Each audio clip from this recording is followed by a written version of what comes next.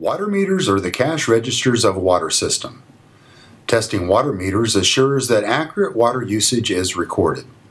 For more than 100 years, Ford MeterBox has been crafting meter testing equipment, and Ford's Automated Measuring System, AMS, is a revolutionary test bench that simplifies and improves production in a water meter test shop.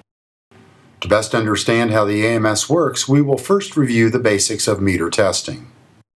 The two most important parts of a water meter testing system are the test bench and the tank. Ford uses the principle of comparing water run through a meter on a test bench to the actual amount of water captured in a calibrated tank.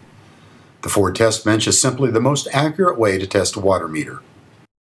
The test begins by placing the meter on the bench, one at a time or in a series. The air is purged from the meters and the bench. The tank is then emptied and the test is ready to begin.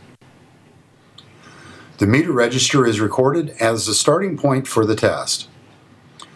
Start the test by running water through the meter into the tank.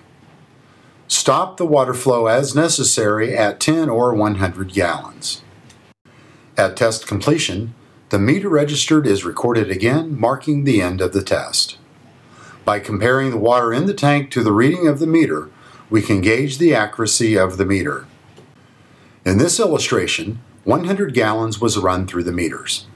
The first meter only registered 95 gallons, indicating the meter is running 5% slow, or 5% of the water running through the meter was unaccounted for and not billed to the customer.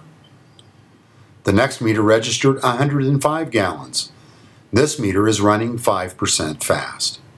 Now, take a look and see how the Ford Automated Measuring System AMS provides you with a simple, efficient, and money-saving approach to water meter testing. Touch the AMS logo to start the test.